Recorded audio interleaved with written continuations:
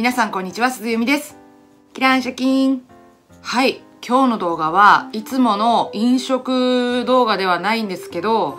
飲んだくれ YouTuber の私だからこそ皆さんにシェアできる二日酔い飲みすぎ対策のために日頃私が行っている習慣をお話ししていこうかなと思います。皆さんご存知の通りね私はお酒が大好きでずっとお酒の YouTube を続けているんですけどもともとねすごい二日酔いがひどいタイプで次の日の夕方までずっと吐いてるみたいなタイプの結構重めの二日酔いのタイプでそんな私がここ1年ぐらいもうほとんど次の日翌日にお酒を引きずるっていうことがなくなったので自分でもびっくりしてるんだけどあくまでね私個人の私の体私流のお話なのでまあ参考程度にほんとゆるーく聞いてくれたら嬉しいなと思います。ちょうどさっきね帰宅してきてこれから私も晩酌っていう時間なのでまあ私自身も飲みながらゆるく語っていこうと思います。今日も一日お疲れ様です。乾杯。こういう喋るだけの動画ってほんとめったにやらないからうまく伝えられるかわかんないんですけどとりあえず私がお酒を飲む上で毎日習慣として行ってることが一つあってマジで一番効果があってずっと続けてるのが筋トレです。筋力？筋肉？トレーニング？ちょうど去年からコロナで本当に家にいることが多くなって私そもそも週に2回はバレーボールやってたんだけどそのバレーもしばらくなくなっちゃってたからでも運動しなきゃって思って筋トレを始めたんですよ。筋トレって言ってももうガチガチの超しんどいやつじゃなくって今ね YouTube にもすごいいっぱい上がってるんだけどヒット？HIIT だったかな？ヒットっていうすごい短い時間短時間に凝縮してやる、まあ、ハードなトレーニングなんだけどほんと2分から2分のものもあれば3分4分10分15分っていうものもあるんだけど腕とか背中とか足とかお尻とか毎日飽きずにできるんだよねあちこちやってると。で余裕がある時はやる気ある時は全身のやつをやるとかね簡単だし分単位だしやり終わった後ちゃんときつい達成感があるしあこれだったら続けられんじゃんって思って毎日やってたら気づいたらあれ？二日酔い？してなくね？みたいな。なんかどんだけ飲みすぎても次の日結構元気に起きてるなっていうことに気づいて筋トレしてこんなに効果が出たからすごい気になって筋肉と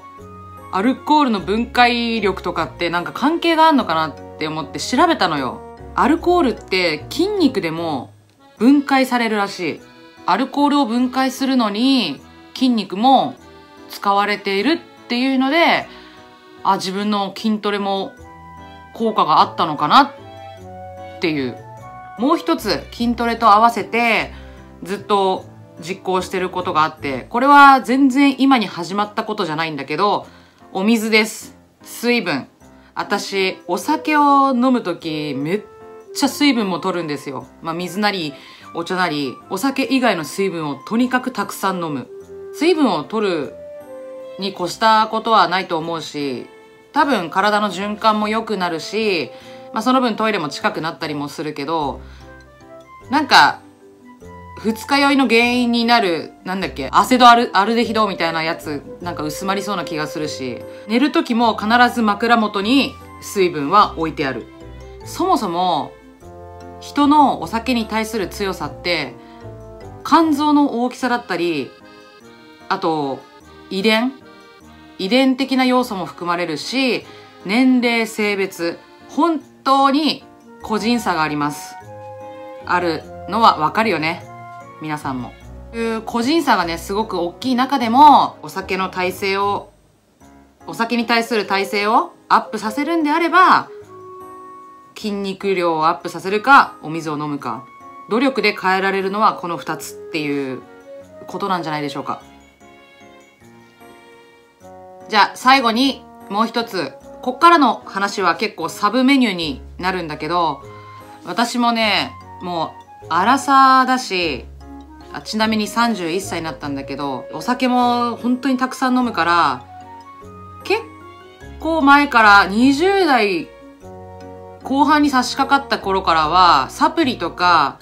青汁も毎日飲んでます。薬局で自らサプリとか青汁を買い始めた時に思ったね。20代前半と20代後半のなんか差を感じた。今までも肝臓系とかウコン系とかさいろんなサプリ試してみたんだけど最近飲んでるものをぜひ紹介しようと思って。じゃじゃん。私が最近飲んでるのがこちらです。金のしじみウコン肝臓エキス。お酒が大好きな人だったら絶対耳にしたことある。しじみウコンオルニチン。お酒を飲む人の健康を支えてくれるような成分がたくさん入っております。中もこういう青粒タイプなのでいつでもどこでも飲める感じです。私みたいな人間はどこでお酒を飲む機会が訪れるかもわからないしどこでお酒飲みたくなるかもわかんないから常にカバンに入れてる。こういうサプリは。あと地味に好きなのがこのお疲れ様ですって書いてあるこの文字。最近しみじみ感じるんだけど、すごい疲れた日とか、自分なりにめっちゃ頑張ったなっていう日、誰かにお疲れ様って一言言われると、嬉しくない？嬉しいっていうかなんか心が浄化されるっていうか、特に最近は家で飲む時間も増えて、家だとね、時間も量も全部自分次第だから、結構飲みすぎちゃう時あるんだけど二日酔いを気にせず次の日も元気に起きるための準備として私だってサプリに頼りたくなる時もありますよ。今なんてお酒飲むことが仕事だもん私。まあサプリとか健康食品に関しては気休めだとか昨日持ちようだっていう考えの人もたくさんいると思うんだけどまあそんな中でも自分のお金で自分の体に投資するっていうのはもう個人の自由だと思うからね。私は投資してる。頑張ってお酒を飲んで分解してくれてる自分の体に今日はこのサプリ紹介したけど皆さんが住んでる近くの薬局に売ってるかどうかちょっとばらつきがあると思うので、まあ、一応動画の概要欄に商品の URL を貼っとくので気になった方はチェックしてみてください。はい。ということで、今回は飲んだくれ YouTuber 鈴弓の二日酔いや飲みすぎ対策についてのお話をさせていただきました。お酒飲まないっていう方には、ちょっと退屈な動画だったかもしれません動画内でお伝えした通りお酒に対する考えとか個人の体質は本当に人それぞれなので皆さんも自分に合った対策や習慣を見つけて快適で楽しい飲酒ライフを送っていきましょうそのためにも今日の動画がちょっとでも皆さんの参考になればいいなと思います。それでは本日もご視聴ありがとうございました。また次の動画でお会いしましょう。鈴由美でした。バイバイ。